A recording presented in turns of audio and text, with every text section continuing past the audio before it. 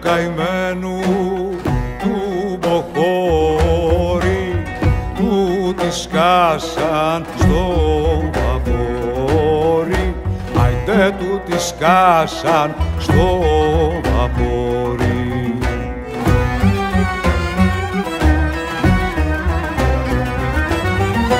και του πήραν πεντακόσια όλο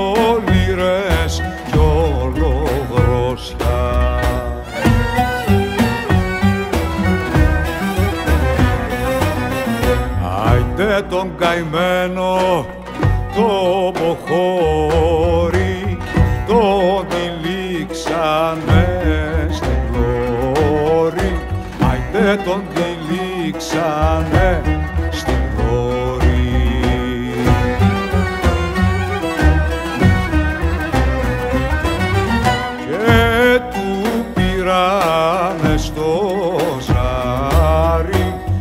άιτε το καινούριο του ζωνάρι.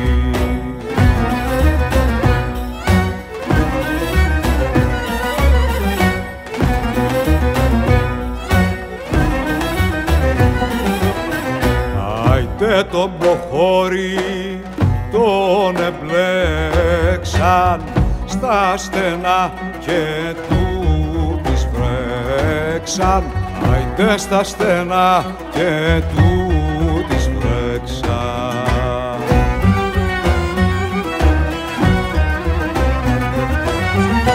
Και του κάναν το γιουλέκα άιντε και του πήραν κι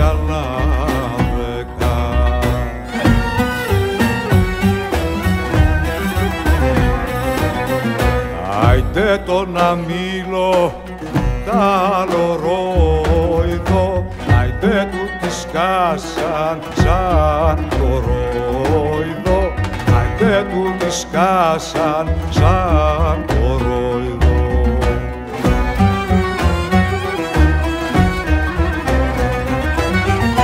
Και του πήραν τα ψηλά του άιντε και τον στείλαν στη δουλειά του